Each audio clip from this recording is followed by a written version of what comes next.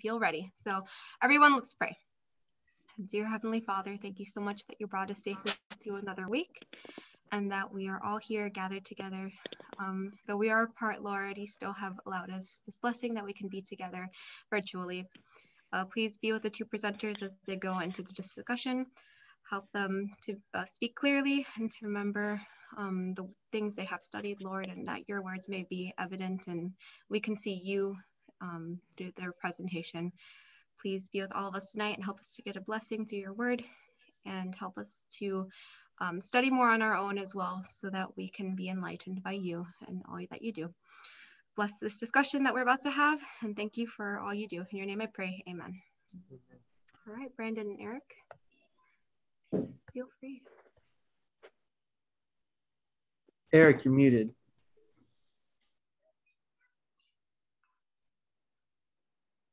That's how I like to start a presentation. Muted. Uh, can everyone see my screen? Yes. Perfect. So tonight we are studying, starting with Daniel 11. And as Brandon has been telling me this week, he loves this slide because it's a picture of a bunch of old people that nobody knows who they are. Uh, today we are diving into essentially ancient history, uh, some of which we know, some of it which you really have to dive into and look at. Um, but I'm excited. I hope you are too. Um, there are a few principles that we thought there that that's kind of interesting around Daniel 11.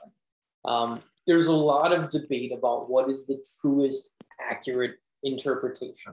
Um, I went on Google and just put Daniel 11 interpretation, hit the first five links, and all five of them were different.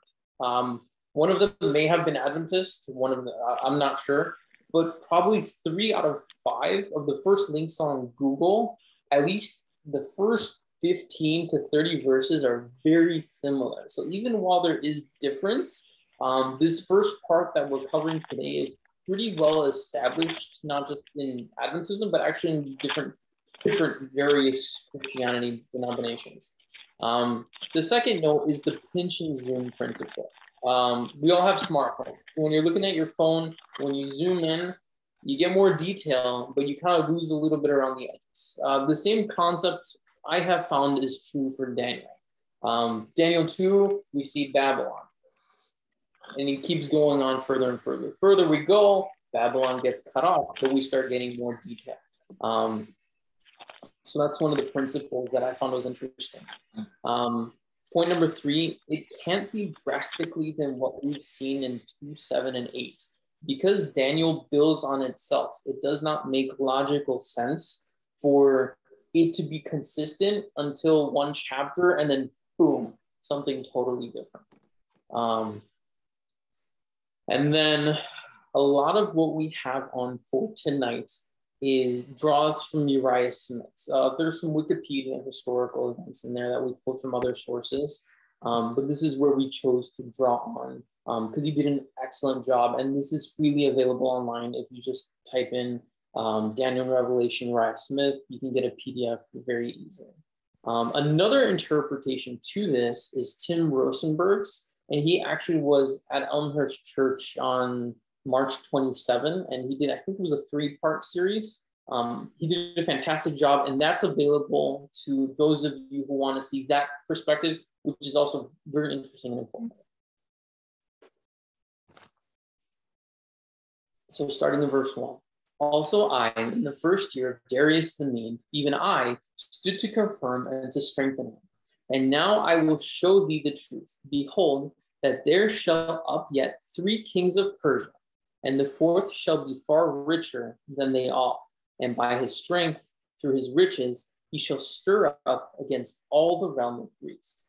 Now, we see in verse verses one, um, Medes and the Persians, they be combined together, they take over Babylon, and we can see that in 2 7 Um, so we see here in the first corner Cyrus, um, and then we see the four following kings uh, Cambyses, Smerdis, Darius, and if any of you can pronounce these better than me, I apologize. Uh, English is my second language.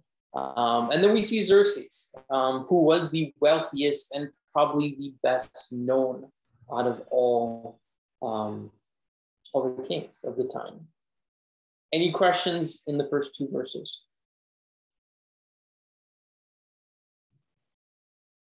Okay, going on. So we see here in verse 2, uh, Xerxes. So we're still talking about the fourth king. Um, one of his famous battles that he's known for losing is the Battle of Thermopylae. Um, huge, fantastic army. It looked unbeatable, but this is the story of the 300 Spartans who held back the hordes of the Persians. So this is actually Xerxes who we're talking about. Um, and he did suffer a defeat and he was betrayed. Um, and then he went back to his own country. Um, and growing up, for some reason, I never connected this back into the Bible until a few years ago. And this is interesting because we look at the Bible, it actually ties back into the story of Esther.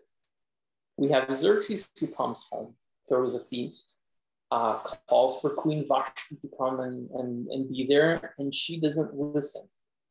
This is a king who's just lost one of the most major battles of his career, who's gone home with his tail between his feet. And now Queen Vashti, who, especially at that time, women didn't really have social standing. And she refuses an order from the king. Um, and then this is where we go into the story of Esther. This just to kind of bring it back and tie it in with the Bible. In verse 3 And a mighty king shall stand up that shall rule with a great dominion and do according to his will. And when he shall stand up, his kingdom shall be broken and shall be divided towards his four winds of heaven, and not to his posterity, nor according to his dominion, which he ruled. For his kingdom shall be plucked up even from others besides those. Now, what's interesting is when we look at history, we don't go directly from Xerxes to Alexander the Great. There's actually six minor kings in between them if we look at history. Um, while Daniel 11 is pretty expansive, it's not exhaustive. It doesn't cover every detail and nuance because, let's face it, it's only one well, chapter. Did someone want to say something? Okay. Um, so while it jumps over six minor kings, it goes to Alexander the Great, um, who, as we know, conquered huge amount of the then known world. Um, it was pretty much all of it at the time. But then he goes back, and we know he exhausted his energies in writing and drunkenness, and actually died in 323 BC. Now, going back to the verse, we can see that his kingdom was plucked up and divided towards the four winds of heavens. Well, these four winds of heavens we understand to be his four generals, not his children Cassander, Lysimus, Seleucus, and Ptolemy. Um, these are the four generals who actually ended up splitting his kingdom. And here we have a map of the four regions. Um, so we see Seleucus, Seleucus, I hope I'm pronouncing that correctly, um, took the biggest portion right there. And then Ptolemy, we see in the south by Egypt, uh, Licinius and Cassander, smaller regions on the left. And this also goes back to Daniel chapter 7, where we see the four heads of the leopard. Um, and then Daniel chapter 8, uh, referring to the four horns. Um, the first horn being Alexander of Greece, who overthrew the kingdom of the Medes and Persians, and then the other four horns that spring up after him and divide uh, the kingdom between them.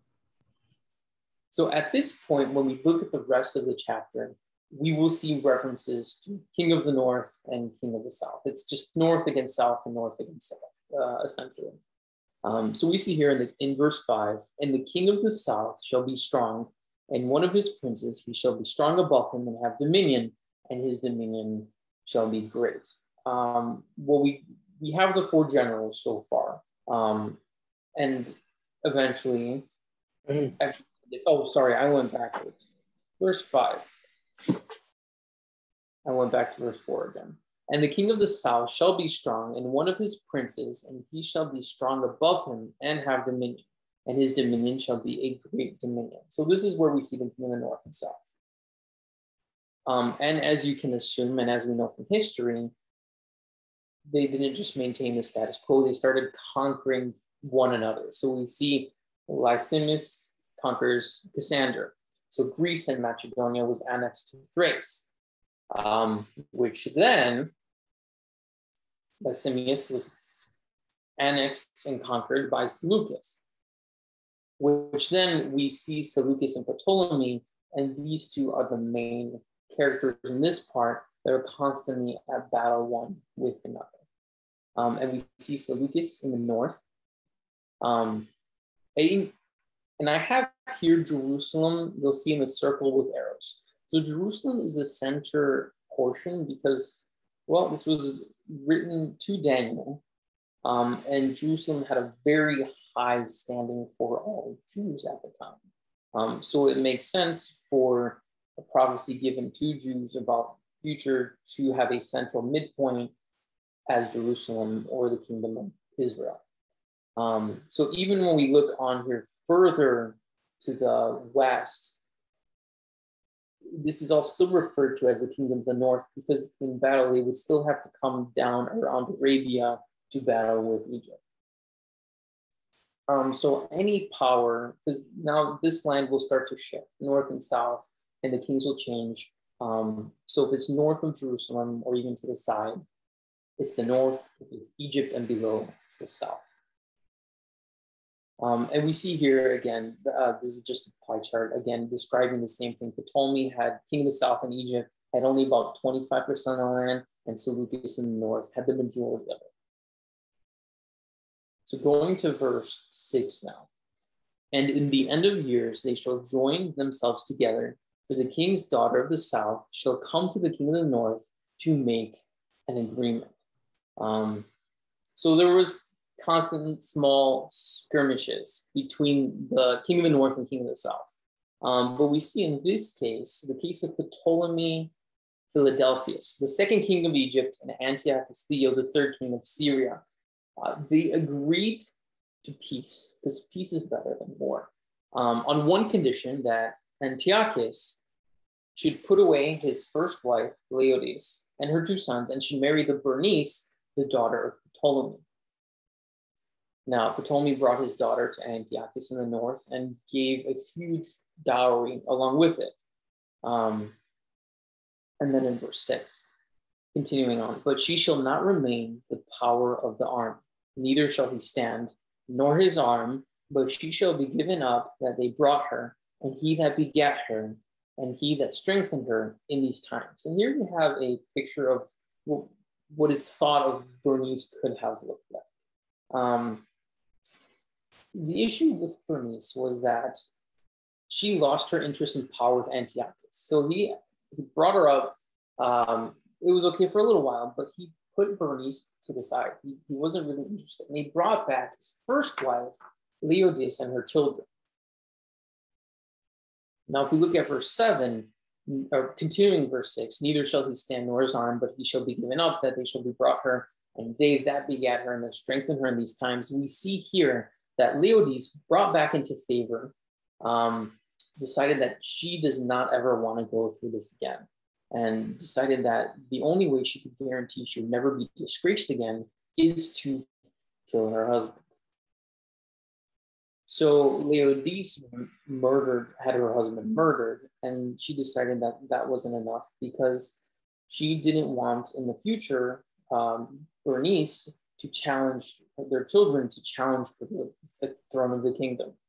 Um, and then at the end of time, when we see, but she that given up and they brought her, and she begat her, and that strengthened her in times. So Laodice decided not just to kill her husband and Bernice and Bernice's children, but actually every single assistant and helper um, that brought her up, um, servants. So everyone that came up with Bernice from Egypt was slaughtered. Um, and I bring up this story just to say that if prophecy in Daniel is so detailed to such a specific story, um, that's truthfully random and lost to history for the most part. How how amazing is the rest of the chapter down the road? Um, and to just take a quick detour, detour, what me and Brandon have put together here isn't exhaustive. So there's more information. Um, so actually, if anyone is interested, I recommend you look into it. Um, but we we try to do the best we could to fit in in this time period. So because there's so much, I'm going to read it and just give you a quick nuanced snippet of what's happening at that time. So in verse 7, but out of a branch of her roots shall one stand up in his estate, which shall come with an army and shall enter into the fortress of the king of the north, and shall deal against them and shall prevail. He shall also carry captives into Egypt their gods, with their princes, with their precious vessels of silver and gold. And he shall continue more years than the king of the north. So the king of the south shall come into his kingdom and shall return into his own land. So here we see verses 7 to 9, it talks about Ptolemy Eugenes, the third pharaoh of the Ptolemaic dynasty of Egypt from 246 to 222 BC.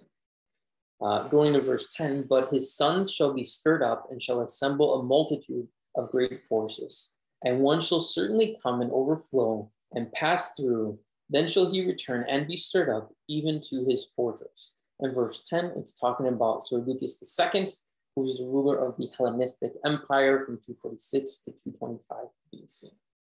Uh, then going on to verse 11 to 12, and the king of the south shall be moved with choler, and shall come forth and fight with him, even with the king of the north.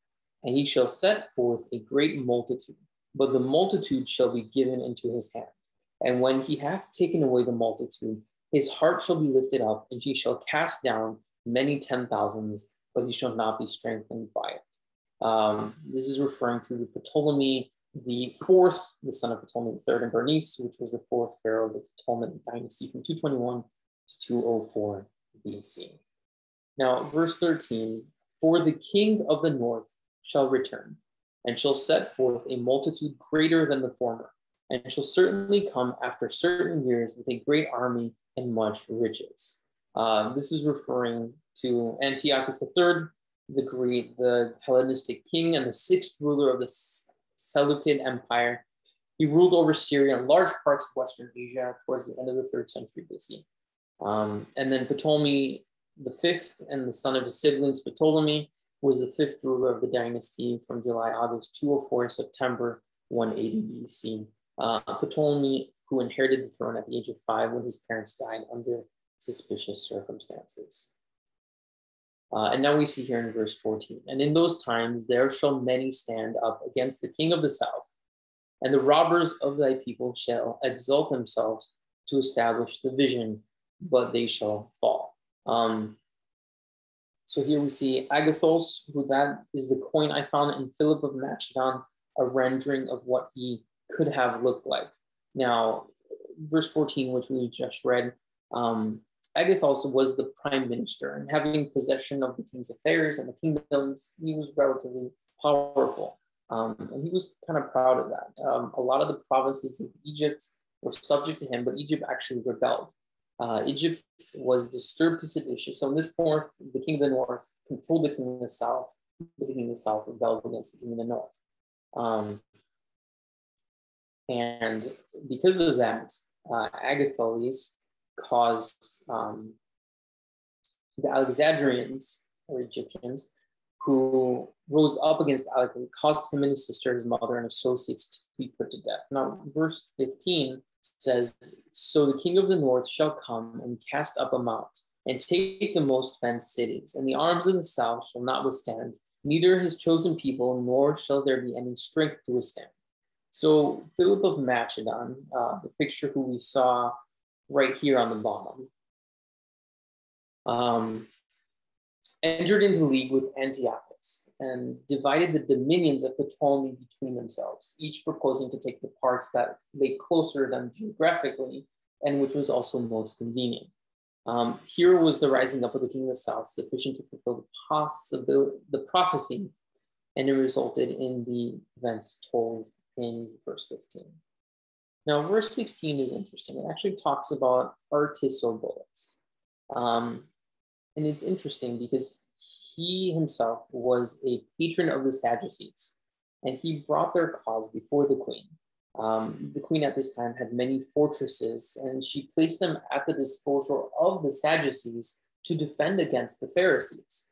So, what we see, at least um, what you learn about the Pharisees versus the Sadducees in the Bible, is they butted heads a lot harder than is generally thought of. Um, and he consulted in reality with one of the preparatory moves, again, Artobulus, who we spoke about in verse 14, for the assertion of the government. The queen sought to direct his military zeal outside of Judea and sent him against Ptolemy, king of the south. But when the undertaking failed, Artobulus resumed his political intrigue. He left Jerusalem secretly and he took himself to his friend, who controlled a large number of fortified palaces at that time, with the intention of making war against his aged mother. But the queen actually died at the time in a very critical moment and he turned his weapons against his brother, Hyrcanus, who was actually the legitimate heir to the throne. Um, so in verse 16, but he that cometh against him shall do according to his own will. None shall stand before him, and he shall stand in the glorious land by which his hand shall be consumed. And then we have verse 17. Uh, all right. So um, at this point, uh, he shall enter his face, uh, he shall set his face to enter with the strength of his whole kingdom, and upright ones with him. Thus shall he do, and he shall give him the daughter of women, corrupting her, but she shall not stand on his side, and neither be for him. So at this point, we have the famous Julius Caesar entering the scene. Um, he famously marched on Rome uh, when the Senate tried to take away his armies. Uh, that's where the phrase crossing the Rubicon uh, Rubic, yeah, Rubicon comes from, which is the river outside of Rome. It was illegal to cross that river with an army, and he did so, uh, which started a civil war between him and the Senate. And the Senate's main general was Pompey the Great. So after a decisive defeat, Pompey flees to Egypt, and Julius chases him there. So that's where we see him uh, entering with the strength of his whole kingdom, chasing Pompey. So Pompey flees to Egypt and is murdered by Ptolemy uh, the 13th of Egypt, who is the brother and husband and co ruler with Cleopatra, um, the famous Cleopatra. So Julius, upset over Pompey's death, took control of Egypt. He was furious that uh, a foreigner had killed a Roman general. And so he declared uh, Egypt a part of Rome. Uh, and uh, took over the the area. So there was then, of course, Cleopatra and uh, Ptolemy both had claims to the throne, and Julius was going to have to choose between the two. And Cleopatra uh, disguised herself; she rolled herself up in a carpet and had her delivered to Caesar as a gift. So when Caesar unrolled the carpet, there was suddenly Cleopatra. And no one knows what happened in that conversation, but the end result was Julius sided with Cleopatra. So her brother rebelled, started a civil war uh, in Egypt, and Julius fought on the side to give Cleopatra the throne. So on his way to fight the uh, for Cleopatra, uh, we see uh, this bit here, um, and this is from Uriah Smith. Antipater, the Idum, how do you say it? Idumene. Idumene, joined him with 3,000 Jews. The Jews who held the frontier gateways into Egypt permitted the Roman army to pass without interruption. The arrival of this army of Jews under Antipater helped decide the contest. A decisive battle was fought near the Nile by the fleets of Egypt and Rome, resulting in a complete victory for Caesar. Ptolemy, attempting to escape, was drowned in the river. Alexandria and all Egypt then submitted to the victor, Julius and Cleopatra. Rome had now entered into and absorbed the entire original kingdom of the south. So uh, if we go back to verse um, 17, take me back up there, Erick. Yeah.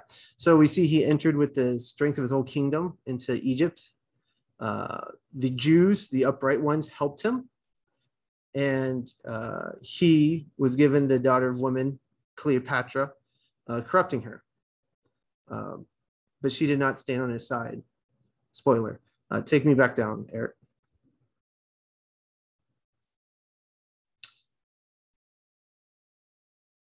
One more slide. Yeah, okay, there we go. Oh, it was right there. My bad. So yeah, what I just explained right here on this slide. Um, but one more slide.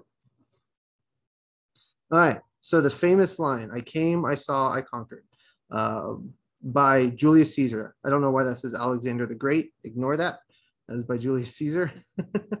After this shall he turn his face into the isles and shall take many, but a prince for his own behalf shall cause reproach offered by him to cease. Without his own reproach, he shall cause it to turn upon him.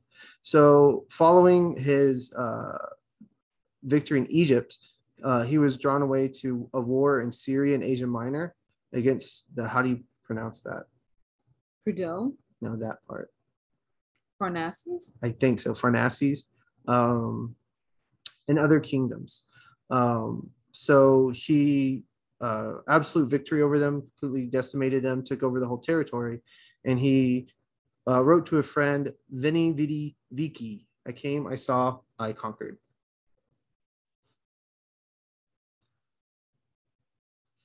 Then he shall turn his face toward the fort of his own land, but he shall stumble and fall and not be found. So I just mentioned this was all after the civil war uh, that he started against Rome. He fought, uh, I think, three major Roman families.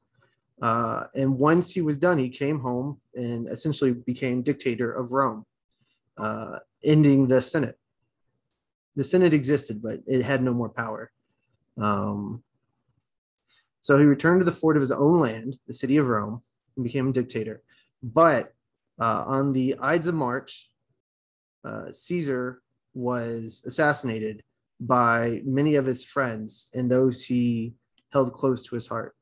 Um, the famous line, et tu Brute, and you Brutus, one of his best friends, uh, as he was slain on the Senate steps. Um, that was in 44 BC.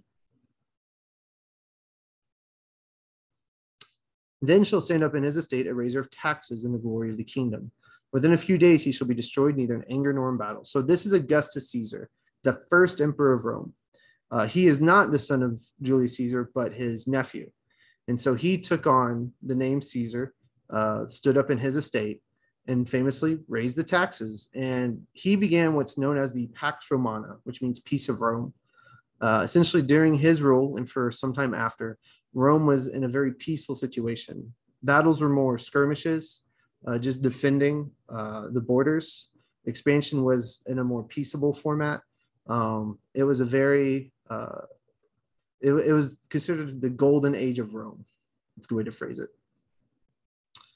Um, and famously, he did not die in battle, but died peacefully. And, and this is really important here. So Augustus is a raiser of taxes. And sure enough, in Luke 2 1, it came to pass in those days that there went out a decree from Caesar Augustus that all the world should be taxed. This tax is the reason why Mary and Joseph had to go to Bethlehem.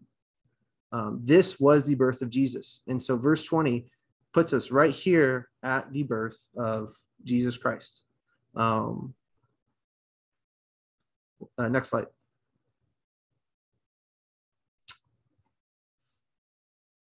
And again, uh, he died peacefully in his bed at Nola um, at the age of, uh, yeah, 76 year of his age, AD 14. He died peacefully in his sleep. Um, so he he ruled uh, very successfully in a, in a very stable manner. And in his estate shall stand up a vile person to whom they shall not honor or give the honor of the kingdom, but he shall come in peaceably and obtain the kingdom by flatteries. So this is Tiberius Caesar, the man who followed Augustus on the Roman throne.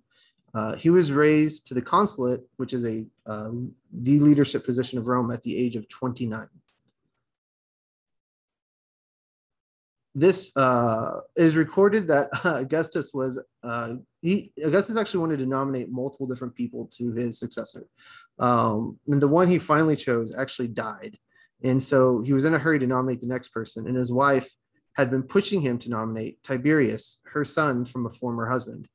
Um, and he had famously said, Your son is too vile to wear the purple of Rome. So that word vile, exactly as we see in the verse, which is pretty awesome fulfillment. Um, so he wanted to nominate Agrippa, but Agrippa died, and thus it went to Tiberius. Uh, so Tiberius was largely absent. He actually built an island home and just lived there most of the time um, and left the running of the state to others. Uh, he was not very well liked through Rome, especially in the leadership, since uh, essentially he did not care for maintaining control or stability. Um, he just did whatever he wanted. Um, and his successor, Caligula, was just as bad at that. Um, and uh, Erick, did you want to talk what you looked up about Tiberius? So I actually looked up Tiberius just on Google to find out what what made him so vile. Why why does the Bible say he was vile? Why did the Caesar before him say he was vile? Um, and he he actually was very vile. Um, like um, mutilation of people, um, vile, like sexual mutilation, um, things that we actually would be banned on uh, on internet today. Uh, it'd be one of those things that are content um, so he was a very disturbed individual. Um, and, and, if anyone wants to look it up, you can find the information very easily. Okay. Thank you, Erick. Um, so, with the arms of a flood, they shall be overflown from before him, and shall be broken, yea, also the prince of the covenant. Uh, a more accurate translation uh, from Thomas Newton kind of presents it more as the arms of the overflower shall be overflown from before him and shall be broken. The idea being that this is talking about the death of Tiberius. Um, so, uh, acting as the hypocrite to the last, he disguised his increasing debility. Uh, his mental state was deteriorating and his physical state too, as much as he was able, even affecting to join in the sports and exercises of the soldiers of his guard. At length, leaving his favorite island, the scene of the most disgusting debaucheries, he stopped at a country house near a promontory of Misenum, where on the 16th of March 37, he sunk into a lethargy in which he appeared dead. And Caligula, his heir, was preparing with a numerous escort to take possession of the empire when his sudden revival threw them into consternation. At this critical instant, Macro, the Praetorian prefect, caused him to be suffocated with pillows. Thus expired the Emperor Tiberius in the 78th year of his age, 23rd of his reign, uh, universally uh, excreted. What's that mean? Execrated? Yeah. I don't know. I don't know. Universally hated, that's for sure. Um, so he died violently. But there's another part to that verse. It says, Yea, also the prince of the covenant. Jesus Christ is the prince of the new covenant. Uh, when we, if you remember from my study on the 2300 days, the old and new covenants, Jesus is the prince of the new covenant. Um, and sure enough, Jesus Christ dies during the reign of Tiberius. His whole ministry takes place during the reign of Tiberius. Um, you can see that in Luke 3 1 through 3. Um, if somebody wants to, to go ahead and, and read Luke 3 1 through 3.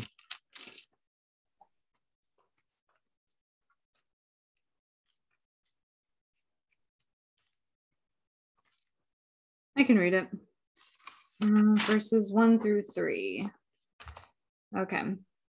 Now, in the 15th year of the reign of Tiberius Caesar, Pontius Pilate, being governor of Judea, and Herod, being tetrarch of Galilee, and his brother Philip, tetrarch of Iturea and of the region of Trachonitis, and Lysanias, the tetrarch of Abilene. Annas and Caiaphas, being the high priests, the word of God came unto John, the son of Zacharias, in the wilderness and he came into all country, into all the country about Jordan, preaching the baptism of repentance for the remission of sins.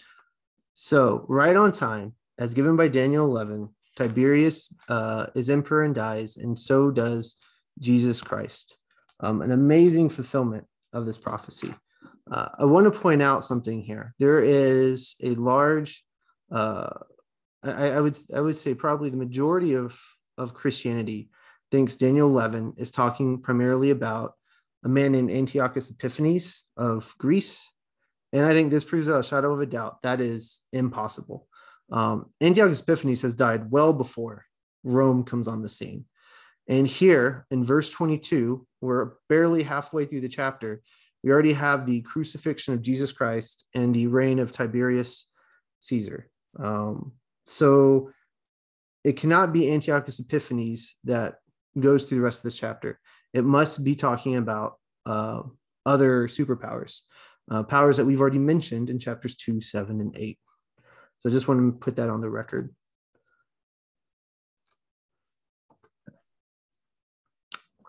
So after the league made with him, he shall work deceitfully, for he shall come up and shall become strong with the small people. So at this point, uh, Uriah Smith has these verses going a little bit back in history, not far back, just a little bit. Um, he, he in this he believes is the league made between the Jews and the Romans in 161 BC. Um, this league uh, allowed the Romans with the aid of the Jews, to uh, unite against the kings of Syria and uh, take them down um, and become strong with the small people. So me and Brandon actually went ahead and we found the um, the contract between Rome and Israel, and and just reading it, the decree friendship with nations of the Jews. If you make war with the Jews, then we'll assist them by sending corn or ships or money. And if you attack them, the Romans will assist. And if the Romans are attacked, then the Jews shall assist, and just and keeping on going.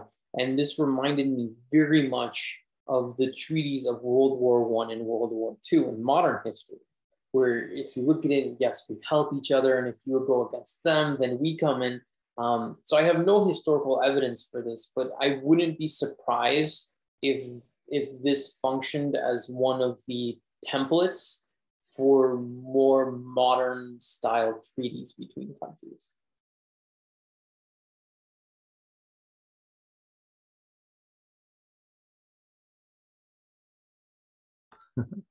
I, uh, he shall enter peaceably upon the fattest places of the provinces, a province. He shall do that which his fathers have not done, nor his fathers' fathers. He shall scatter among them the prey, the spoil, and riches. Yea, and he shall forecast his devices against the strongholds, even for a time. Um, so before the days of Rome, most conquest was done primarily and almost exclusively through war. Uh, Rome was kind of one of the first ones to bring about uh, treaties and uh, agreements and wheeling and dealing uh, where they typically benefited and were able to expand their territory uh, through those means.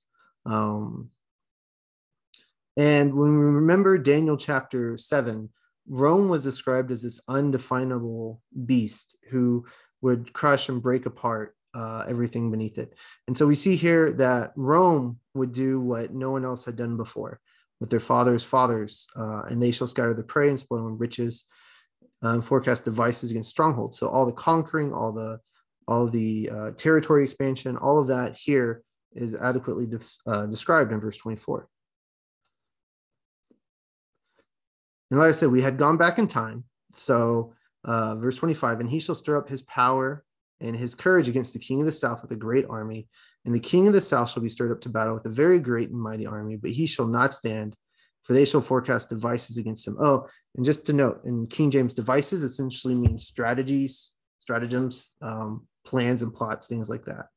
Um, so uh, we jump back to uh, 161 BC, um, and this is talking about that fight between uh, Julius Caesar and the armies of Egypt, particularly after uh, Antony betrays Julius Caesar. So Antony was one of Julius Caesar's good friends. Pretty much every enemy of Julius Caesar was a good friend. And Antony betrays him uh, when he started the civil war and goes to Egypt uh, and unites with Cleopatra. Cleopatra betrays Julius Caesar to unite with Antony.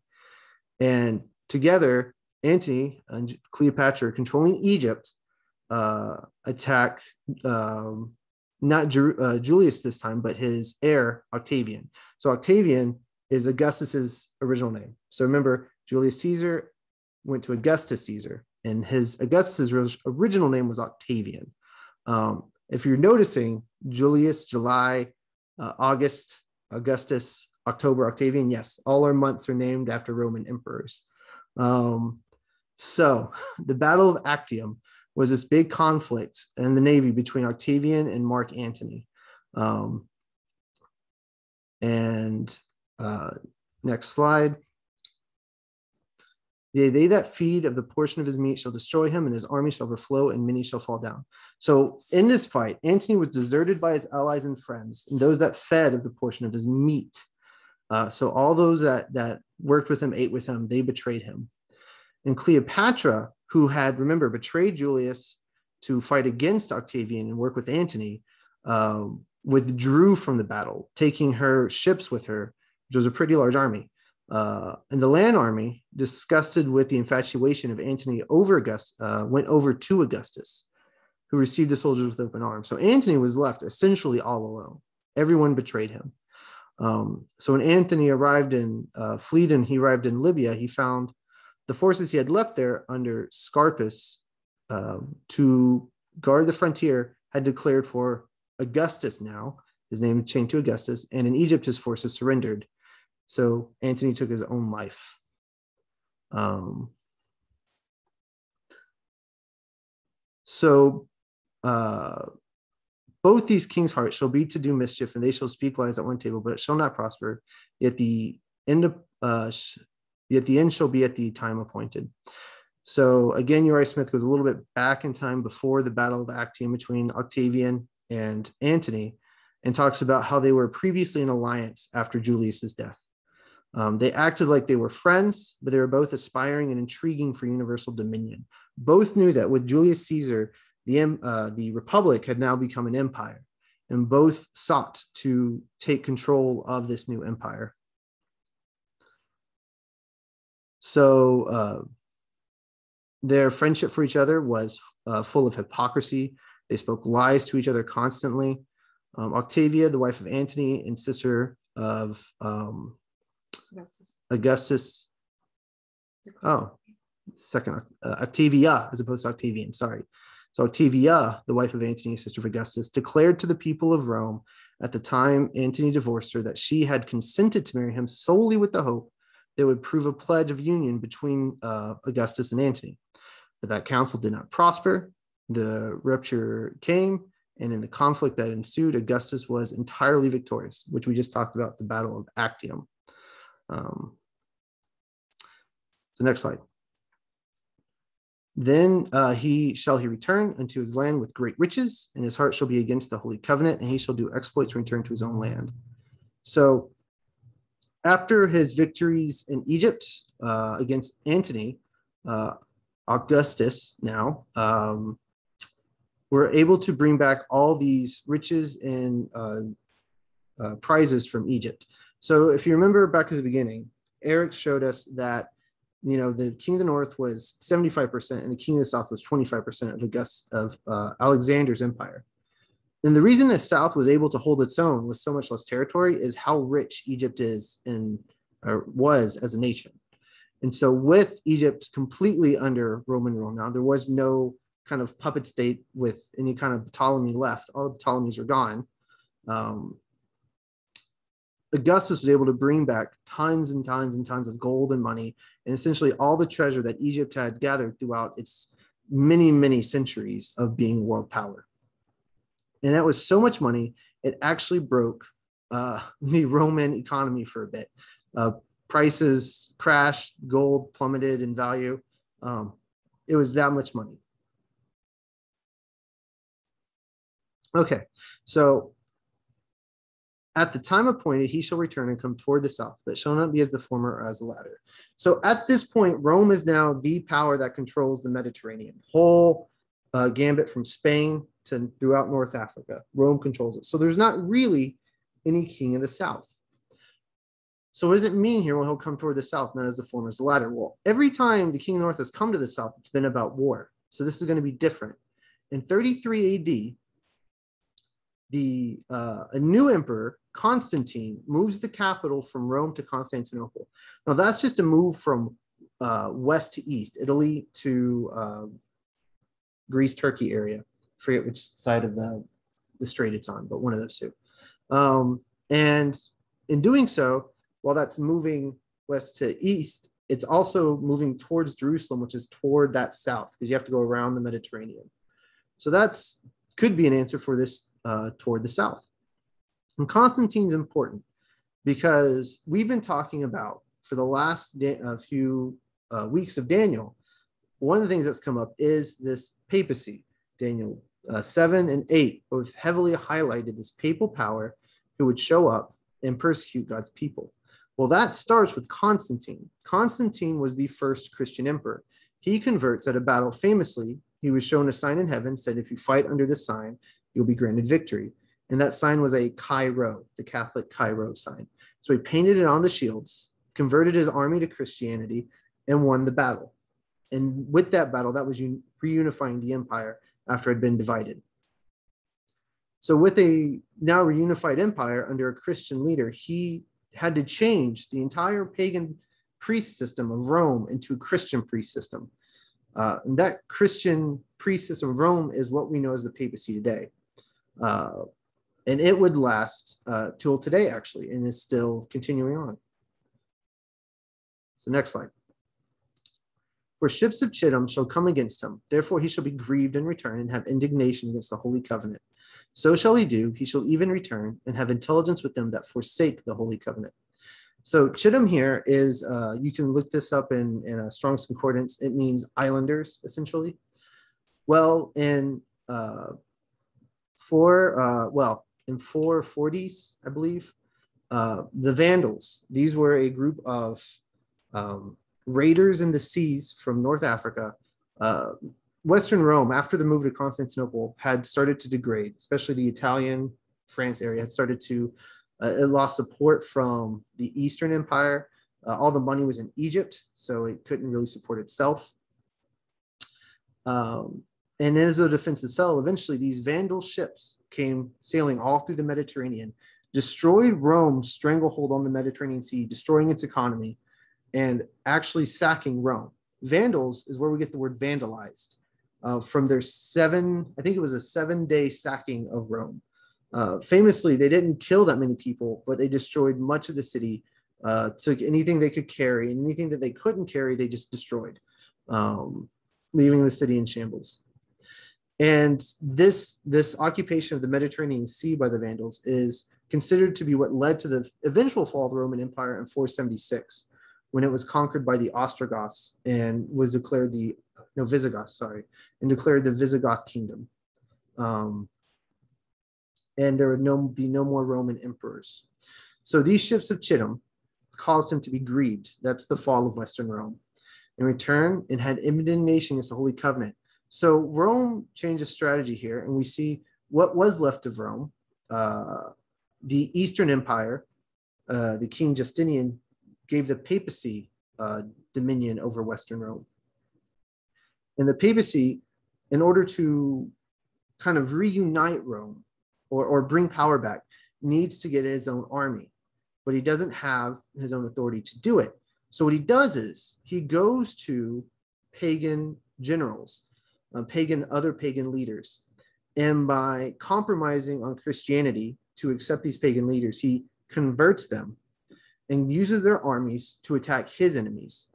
The first instance of this would be Clovis the Hammer of the Franks, who converts to Christianity and proceeds to fight the Pope's battles for him. So we see not only does the papacy begin to institute its uh, false doctrines against the Holy Covenant, but it has intelligences with these pagan kings that have forsaken the Holy Covenant in order to gain power. And this brings us to, uh, you know, in Daniel 7 and 8, this, this little horn power that shows up. Um, so again, as Erick pointed out, we don't separate much from Daniel 7 and 8. We're actually telling the same story, just with much more detail, um, and not Antiochus Epiphanes. And that is where we're going to stop here. Uh, I know we're just about to get to the exciting part, um, but I promise next week uh, Erick's come up with some very uh, fun, fun ideas for these verses, and I think everybody will have a good time.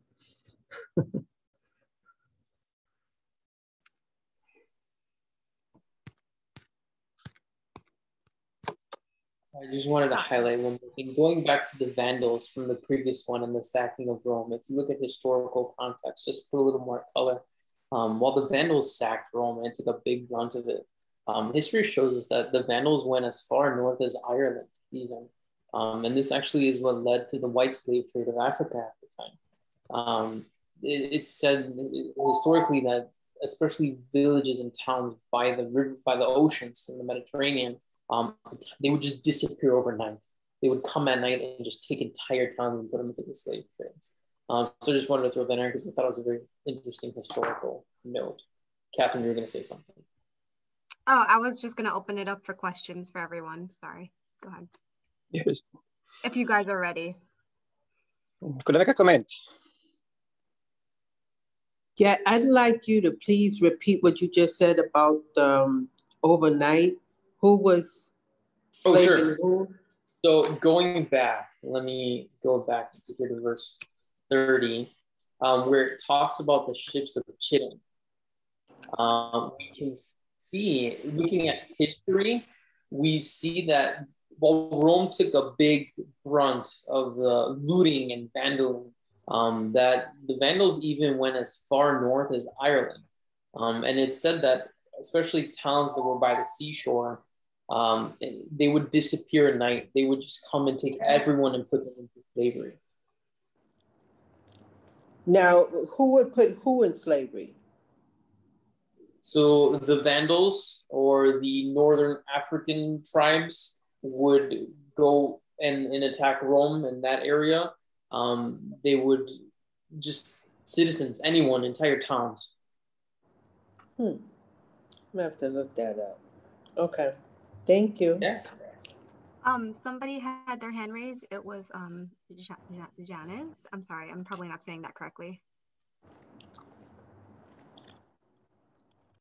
Um, oh, you're you're muted. Hold on, let me unmute you. Um,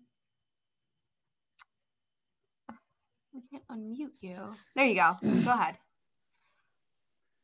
Yes, nice to see you. You have made a very good uh, historical explanation. Every uh, Erick and uh, Bratson. yes, Brandon. very, very good. This is our classical explanation. Is here brother Pastor Piroshki maybe with us? Because Mhm. I I'm I can speak uh, Croatian and he will translate it. Is it Okay, possible? let's try. Let's try. Go ahead, let's try. Can you hear me? Oh yes, I hear you. Okay. Okay, You know, go ahead, let's try. Ma- Moje, moje pitanje je sledeće. Tako, ja spoznam to, ja sam to, kako bi rekao, 20 godina proučavao, reci mi, i našao Let sam, let, let me. Okay, let me translate. Uh, my question is following. I studied the subject for the last 20 years, and I found out yes, I, I found that I came to the, eh, the, the, the, a ja, i onda sam došao do istoga povijesnog trenutka kad je papstvo nastupilo. and I came to the same uh, the same historical moment when the papacy came. Tako da smo tu potpuno zajedno. And we are together in this one. Yes. Moje pitanje je jedno drugo. Kad je eh, Erik lepo pokazal severni i južni kralj, severni i južni kralj, mi moramo ostati tamo in ne umešati Rim, pošto je Rim zapadni kralj. Okay. Uh, when it comes, he said, I agree with everything. When it comes to the kingdom of north and the south, we have to take the Rome, uh, Rome, Roman Empire out because the Roman Empire is, what did you see? Šta si rekao, Torej, eh, dakle, severni in južni Šta si kralj, rekao? severni in južni kralj, Western, western, zapad. tako severni in južni kralj, severni in južni kralj pripadajo trećemu kralj carstvu, dakle Grčkoj. He said, uh, southern and northern king, they begin to the third kingdom, which is a Greek kingdom. Yes. Torej, oni pripadajo. Četvrto carstvo ima deset rogova i mali rog. Fourth, fourth kingdom had ten horns and a little horn. Tako. To je vrlo važno. That is extremely important. Mi ne smemo izaći iz teh gabaritov. To su neki gabariti, dakle, severni južni kralj pripadaju trećem carstvu, a mali rok i deset rogova pripadaju četvrtom carstvu ili Rimu. So, so again, he's repeating that the uh, uh, uh, the king of the north and king of the south they belong to the third kingdom, and the ten horns and a little horn they belong to the fourth kingdom. Yes, zelo dobro. Torej, mi se stražimo s tem. Veste zakaj? To nam bo eh, jako važno, kad budemo došli na Daniel 11, 40 do 45. He said that this is very important when we come uh, next week to Daniel chapter 11, verses 40 to 45. Yes. Evo, toliko samo, to je jedna moja ozbiljna, ne samo moja, ja, ozbiljna primjedba tumačenju Urija Šmitu. Ja mu dam kapu dol, s obzirom kako je on kao prvi naš tumač sve to skupio. Ali to ne znači da je on sve do kraja točno biblijski nam podao. Okay. Yeah, very good. Okay, okay. He appreciated very much the presentation and everything he said. He's looking forward to see how he's going to be. Uh, uh, I'm now paraphrasing what he said, uh, but uh, what is going to be, how it's going to be presented next week. He said No. that this is extremely important. Da, da. Hoće mi to reći da i Urija Žmit, koji je, koji je nam dao prvu knjigu Daniel i otkrivenje, i on je i napravio veliki, veliki posao. Ali Elena White nigde nije rekla, on je točno, točno, točno rekao kako je. Mnogo istraživanja će nam malo pomagati da malo to, eh, kak bi rekao, malo a, ridimenzioniramo. Evo toliko. He said that uh, Uriah Smith uh, mostly he he gave the uh, he gave he was one of the first who gave explanation, but he cannot certainly say that he was right, absolutely right about the interpretation of this subject. Okay, thank you very much for your presentation, for uh, your efforts to, to mm, give to the brothers and sisters.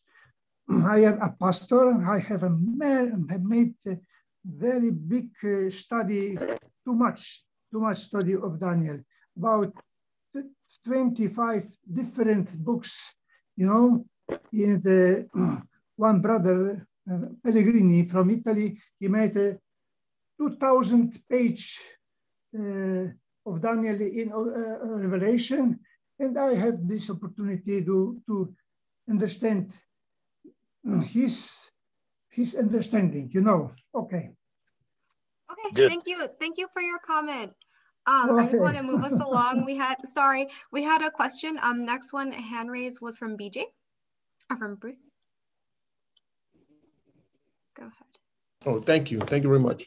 Uh, my, my question was for Brandon or for Erick or whoever can answer it. And I was looking through my notes on this chapter because I've studied this chapter. Just a quick question if you have an answer. Looking at verse 30, it says, um, And they had indignation against the holy covenant, and so shall he do. He shall even return and have intelligence with them that forsake the holy covenant. Now, the question I have this, what I put this down in my notes. You just tell me if you agree or if this is your understanding. I had down here that Constantine, he signed the Sunday law, 321. We all know about that. Is, is this what this is pointing to or alluding to? Was this your thoughts on it also? Because remember, it's talking about that he has intelligence against the Holy Covenant. We know that obviously instituting a Sunday law would be in opposition to the covenant, because it's in opposition, obviously, to the law of God. So just on what your thoughts on that would be, Brandon or Erick or whoever wants to answer. Uh, I'll take uh, this one. So um, the, the thing about the papacy that's interesting is it is formed under Constantine. That's correct, as I mentioned. Um, but it, it doesn't really have political power under Constantine because it's still under the emperor, and the emperor is the head of the church, essentially of Rome at that time.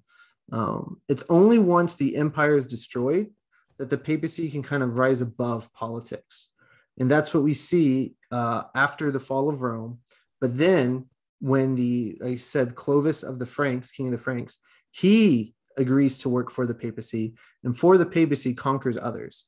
And now the papacy is above the kings. And so I think that's what that verse 30 is talking about is, is we'll talk about it next week with the removal of the daily, but it's talking about that. This intelligence is, is, is like this agreement, this conversation he's having with those who forsake the Holy Covenant. So these, these foreign kings who aren't Christian, but he nominally converts them to Christianity to, to have this intelligence, to have this agreement with them to fight for him.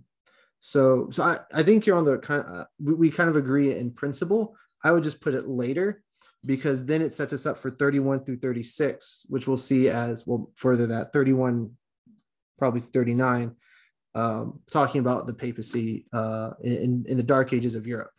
Um, does that make sense?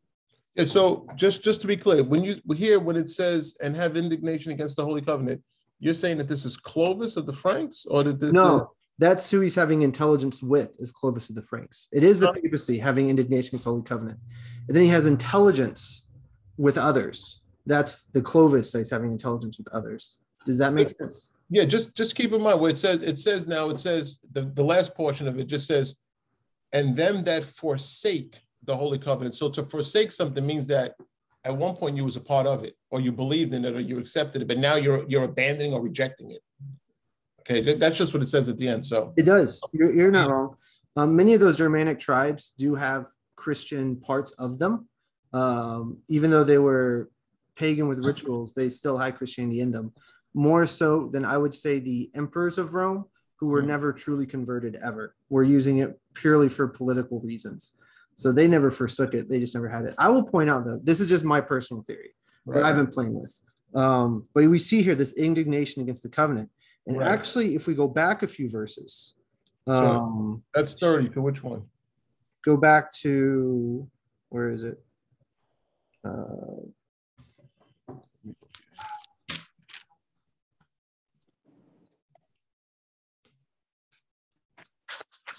it says something about the same thing earlier, just a, a few verses before. Talking oh, there it is, verse 28. Oh, okay. Verse 28 Then he shall return into his own land with great riches, and he shall be against the holy covenant and shall do exploits to return to his own land. So I'm wondering. So I, I we followed Uriah Smith because he had a very clear, very detailed explanation, and right. we're not historians, but I kind of wonder personally if this preamble of against the Holy Covenant is actually Constantine setting up the papacy. And then, you know, it disappears for the ships of Chittim when the Vandals happen, and then reemerges at the end of verse 30. Right. Uh, so, so to me, again, just to follow up on your point, where it says against the Holy Covenant, there has to be something deliberate and prominent that happens. And we know what Constantine did. He signed that law. Yeah. And that changed the whole dynamics of everything in the kingdom. All kind of things were happening persecution started, so forth and so on. And then, of course, it's, we know what it all led to. And anyway, so you would say it's either 28 or 30 talking about or alluding to him invoking that law. Yes, Okay, that, got that it. would be me. Yeah, Got it. Okay, thanks, Brandon. Thank you. no problem. I have a question, if I may. My name is Monique. Um, my um, good friend Deborah sent me this link to join tonight. I would like to know uh, many people, and I read it. Um, unfortunately, I don't have it in front of me. Believe that Constantine had converted to Christianity, but I read that there was no proof that he was had actually turned Christian. He was more concerned with his seat as emperor and because the christians as were, were you know the christians and the, the pagans were were fighting you know. So is it where we can say as christians oh, okay he converted because he stopped the persecution or is there some other type of proof that he was actually christian other than you know he he you know him signing and changing uh, the Sabbath to Sunday and so on. So uh, there is, you know, it's hard to know someone's heart, and even as I, I'm about to say what I say, who knows what he did right before he died? You know, I'm not going to pass judgment on him, uh, especially as his salvation is concerned. What I will say is, after his conversion, um, there was a point at which he was. I, I don't remember if it was another army. He was scared of something. Rome was in, in general scared of something, and he ordered. Well, he didn't order. He allowed the. Uh, no, he ordered it. Pagan priests to do some sacrifices on Sunday in order to get as much help as possible. Um, so, as much as I, I think certainly elements of Christianity invaded his character, uh, I don't think he was fully converted at all. And, and history shows it was more of a political means than anything. Exactly. Okay. Thank you. Okay, uh, next question is from Archer. He's had his hand raised. Yes. Well, so far, I think the historical background is very accurate and uh, informative. But I would like to make a point of interest, and that is remember where we're going. We're going to the last verse of Daniel 11, which says, At that time, the king of shall come to his end, and none help him. And then the first verse of chapter 12 says, And at that time shall make Michael stand up. This is the ultimate goal of this chapter. We have the historical background, but trying to place this in our day is the issue. Now, the Kevin North has gone through many regimes. There's not one country or one nation that is the North. You keep changing, changing, changing, you know? So it came down to a point where it was pagan Rome. Now it moved on to papal Rome. The next thing is now after papal Rome, which would be the next world power, referred to as King of the North. And the key to it all is who controlled Palestine. Who controls Palestine is the key to the whole thing. So we have to find out now in the last days here, because the key is the King of the North coming to his end, and at that time shall Michael stand up. So I would see next week would be a very intriguing time first to identify who is the King of the North in this 2021 that will come to his end and help him. And I would like to just introduce this little book here called Words to Little Flock. You may have heard about the book, A Word to the Little Flock. And I'd like our theologians there to read page eight to nine, because the theory presented in this book here by Rabbi Ellen G. White and James White is very interesting because it is bringing America into the scene of action. And that's where I want to get to next week. America is a part of this regime in the end time when Michael shall stand up. That's my comment. Yeah, yeah, definitely. Thank you, Archer. We couldn't have done that promo better if we wanted to next week. Mm, yes, I have. We're just an, an, an article about Constantine. Piroški, would you like translate me? Uh, 7. marta ove godine je 1700 godina od kada je Konstantin dao taj nedeljni zakon. John Piroshki. Oh, John is. I don't think Pastor's don't think, here. Yeah, I don't think Pastor's oh, here. Sorry. Yes. Oh, they, I mean. Uh, Maybe seven, I can help. Sure. This, is, uh, neko drugi može nam prevoditi na engleski, nema? Maybe seven, I can help him. Mogu ja pomoći. O, bravo. 7. marta ove godine je točno 1700 godina od kad je dan nedeljni zakon, kad je Konstantin dao taj nedeljni zakon.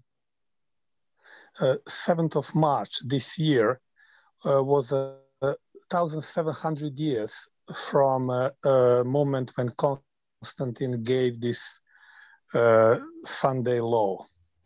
Jeste jedna naša adventistica, vjernica, mlada, je napisala taj članak i je objavljen u časopisu išao je cijelom, cijelo naše Slovenije.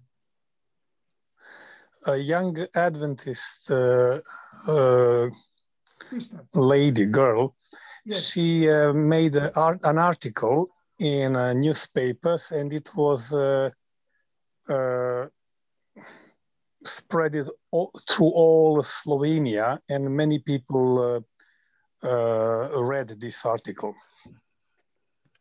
Yes.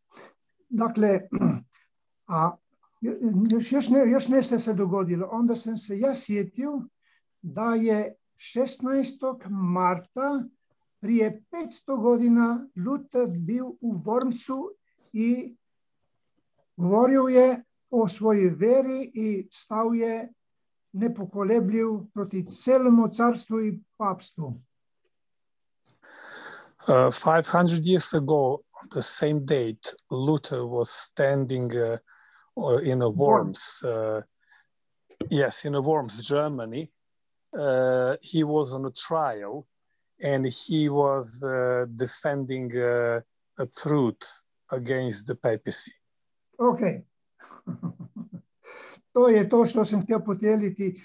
Da, ono što ste vi rekli, dakle, o Konstantinu i taj datum, taj časopis, taj, taj artikl, taj članak je onda meni pobudio da sam ja to objavio i to su objavili pet različnih časopisa po Slo- cijeli Sloveniji i još na internetu. Yeah, uh, I I helped uh, to spread this article, and uh, five newspapers in Slovenia they uh, they helped to spread uh, uh, this article through whole Slovenia, and it was also uh, made uh, a special announcement on internet. Ok. No, it's okay. I just if you want to Okay, send, that's all. um, Thank you. if you want to send the Thank you. article to uh, Pastor Peroski, Pastor John, uh, send him the article and maybe he can send it to us so we can read it later. Yes, I can send it by uh, by Okay. John Piroshki. Yeah, send it to send it to John Peroski and then maybe he can send it to us so we can all read the article later. Okay. Okay. Thank you. Um, next, uh, ha- who had their hand raised was uh, Andrew. Um, yeah, um, this one's for Brandon. Um, um, I actually been doing the same thing with the studying of, and this was after um Tim, Tim had come to church, and I was I did this. I asked God to wipe my memory of what He had said, so that I could just do my own version of studies. And then I found out the same exact thing he found, except for a few things that might differ. But I'm just wondering what you think of that. So uh, Tim's study, and, and I compared it to um, this guy. That's that's from Tim's handout. So I had it the whole time, comparing Mhm. it between uh, his and Uriah Smith, and most of it agrees uh, very much, except for uh, right before Papal Rome. And I actually find this really interesting. So if you remember, I highlighted a part when we went back in time. Uh, we we did the crucifixion um, in verse um, 22 and then 23 we went back in time to the lead with the jews alternately with tim he goes forward in time to the crusades and, and this is why after the crucifixion there is another battle between the king of the north and king of the south which again traditionally egypt versus uh, Rome or Greece. And so after Rome conquers Egypt uh, in Julius's uh, or in Augustus's time, there's no more Egypt to fight with. Egypt is a province of Rome. So the question is, what is this battle? So Uriah Smith goes back in time to just cover that last battle with Egypt, mm-hmm. and Tim goes forward in time to the mm-hmm. papacy in Europe versus uh, Islam in the Crusades. Um, and, and I can see both those points. The problem with with going, and I don't like going backwards in time. And while Tim does go forward, he then has to go backwards to reestablish the papacy in uh, at the end of verse uh, 30, where we ended. And so either way, you're having to go backwards at some point. I don't like either of those, to be honest. That's why I was trying to do my own of is there a way to read Daniel 11 that is chronologically all the way forward? I mean, maybe it might pre like one verse will mention something in the future, but you're not like jumping ahead or going having to go back and forth in your explanation. Um, there is there's some civil wars in Rome, such as the Ptolemaic Empire that establishes itself in Egypt so I, I, was trying to put this together, but I didn't have time. So I just ended up sticking with Uriah Smith. But the Ptolemaic Empire is in Egypt. And so maybe that's the king of the north versus king of the south. And when um, Aurelian reunifies the empire uh, and fights the Ptolemaic and defeats the Ptolemaic Empire, maybe that's what it's talking about. But I couldn't find any any battles that mirrors what's in scripture. Um, and then there's also Constantine, who in his time the empire had been split into four, and he, or four, and he has to go and unite and, and feed three other guys to become emperor. So maybe then, um, I'm not sure. I couldn't really find a way to make it fit. But um, I, I, I think there's something missing here because I don't think we should be jumping around through the chronology to make Daniel 11 works. It seems pretty forward to me, and mm-hmm. so um, I, I think there's there's the the important thing though is that in the the major points, uh, Uriah Smith and Tim do agree, which is the the beginning, the crucifixion, and then the rise of the papacy. All that stuff is dead on agreement, and those are the most important parts of, of Daniel 11, from my understanding. Okay, yeah, that's because I was confused on that, and actually, I agree with you on. I was actually going to mention that I did, I did agree with you on that um part actually, with um what you had just said. All right. Good. Um, next question was from Boris. He had his hand raised. Yeah, uh, I have some uh, concerns about Uriah Smith, you know, because uh, we know that uh, some of his writings were pretty compromised uh, because we had to make a lot of reductions on this text. So why we why why don't we use uh, more some newer uh, uh, Adventist uh, authors like uh, Maxwell or Stefanovic instead Uriah Smith? Because I think um, there is a good idea what he uh, he wrote, but all this idea about historical explanations are a little bit uh, uh, questionable, I think, if you understand me. you yeah. know, because, okay. Yeah. Um, so I, when I, uh, I remember when I first became Adventist, I actually read Maxwell's God Cares One and God Cares Two. Those are like the my big first studies. And as far as Maxwell goes, from what I remember of his Daniel 11, he actually didn't have much. It was a lot of maybe this, maybe that, but uncertainty. So that's why I didn't present it. It's not very good for a, a first time look. Uh, you know, there's not a lot of concreteness there. Um, uh, Erick, do you have anything you want to add? So yes, just like I said in the beginning, just looking at the first five hits on Google, um, the historical aspect, even outside of Adventism, just in general Christianity, the big points that Brandon's referring to, there is pretty much general consensus on the history of it. Now, next week, when we get to um, to the second part of Daniel 11, you will see us divert completely away from Uriah Smith. Um, so we, we used him as a historical template and then we checked him against sources. Um, but for the second part or next week, we completely split away to uh, two different diversions.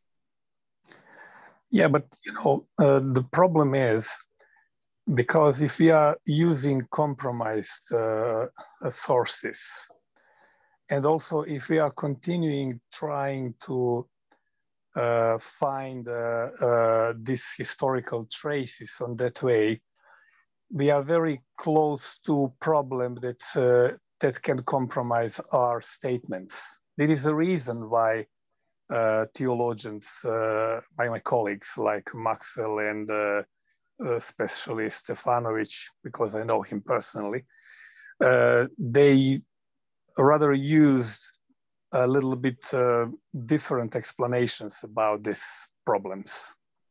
So I'm not sure what you mean by compromised. Uh, for what me and Erick did, everything that Uriah Smith said, we would double check with a secular source.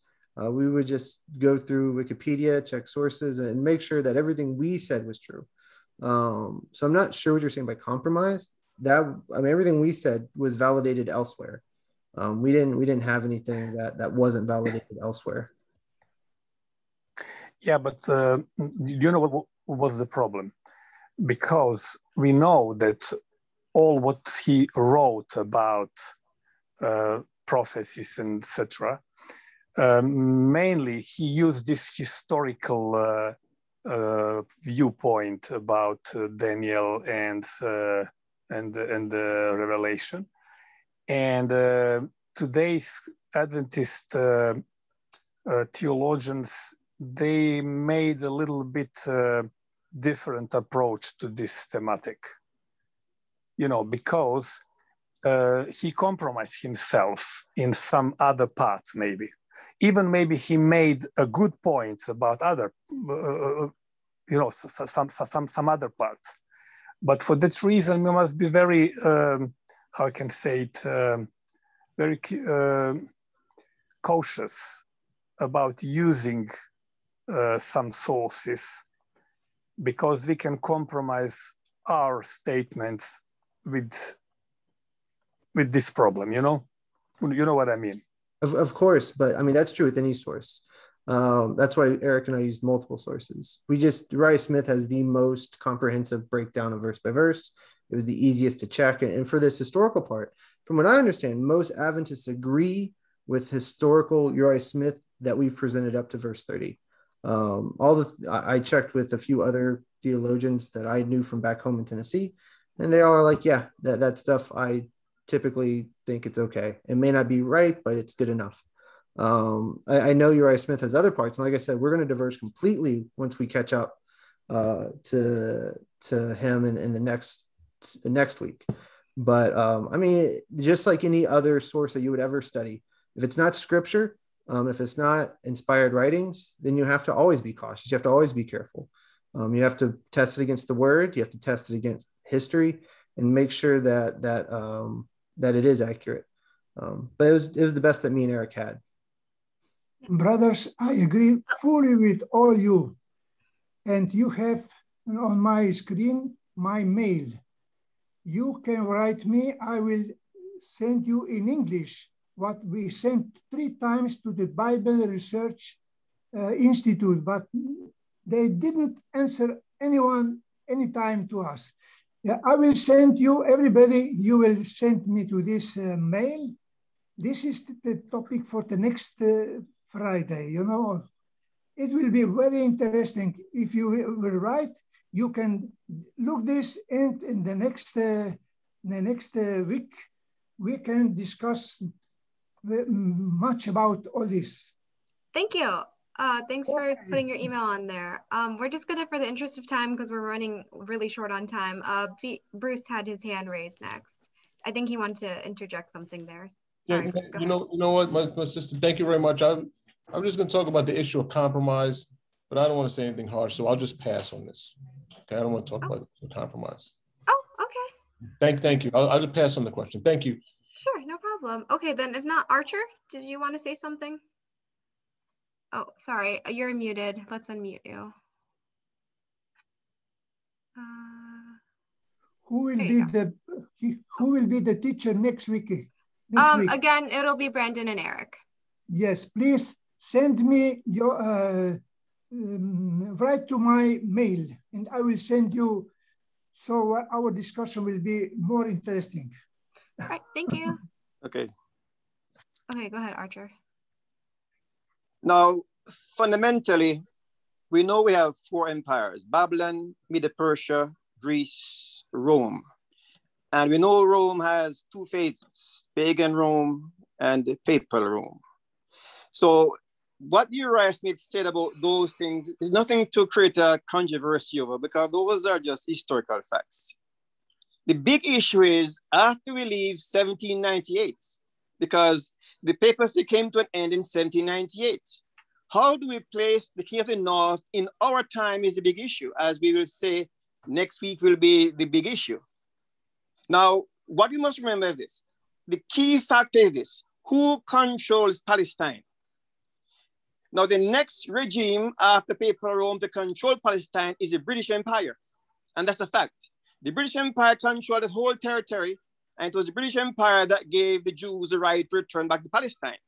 So that is the phase we want to move into now. What happened after 1798? Which power is now regarded as the king of the north?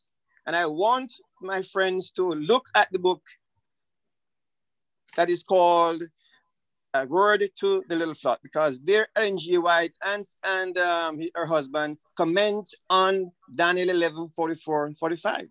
You must go and check out, my friend, because that is where America is bring is brought onto the board. You know, America. Okay. Because Sorry, there's been a lot of talk about next week. And I just want to say Erick has prepared a great presentation for next week.